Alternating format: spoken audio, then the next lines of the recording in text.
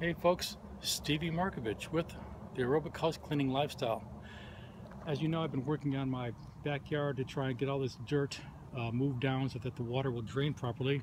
And I've noticed that this area right here is a little bit high, so I'm going to use my, my rake and my pickaxe to move that dirt down. Spend about 40 minutes doing it, half an hour.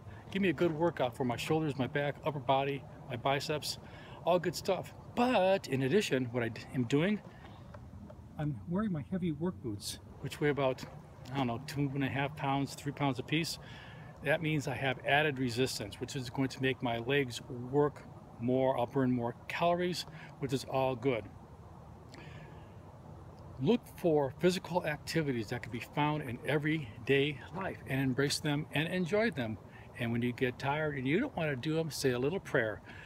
Look for my book, The Aerobic House Cleaning Lifestyle, on Amazon.com and visit my website, aerobichousecleaning.com, which provides you great tips on keeping healthy with prayer and physical activity.